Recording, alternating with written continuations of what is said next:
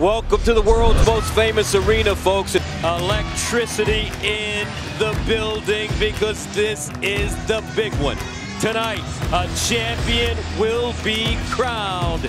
Xavier Marquette for the 2023 Big East Tournament Championship game. Baseline, reverse, got it. Shaka Smarts, Golden Eagles playing extremely well. Kunkel a three, pure. See if Xavier can go on a little run here. But that Marquette defense has been stifling. Rise and fire, pure. Kolek. Right now, Marquette's running a clinic.